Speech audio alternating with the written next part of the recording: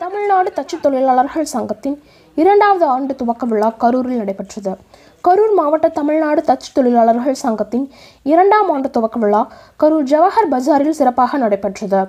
சங்க கொடியேற்று இனிப்புகள் வழங்கியும் சங்கமம் அறக்கட்டளை கரூர் மூலமாக ஆதரவற்றோருக்கு உணவு வழங்கப்பட்டது. மாவட்ட தலைவர் நாகராஜன் செயலாளர் சரவணன் பொருளாளர் ராஜமாணிக்கம் துணைத் தலைவர் அங்கமுத்து துணை செயலாளர் செல்வராஜ் பொதுக்குழு மற்றும் செயற்குழு உறுப்பினர்கள் கலந்து கொண்டு சிறப்புரையாற்றினார்கள். மேலும் இரண்டாம் ஆண்டு துவக்க விழாவை முன்னிட்டு நடைபெற்ற உறுப்பினர்கள் ஆலோசனைக் கூட்டத்தில் தங்கள் சமுதாய மக்களில் குடியிருப்பு இல்லாதவர்களுக்கு குடியிருப்பும் சம்பள உயர்வும் உயர்த்த வேண்டும் என்பன போன்ற தீர்மானங்கள் நிறைவேற்றப்பட்டது.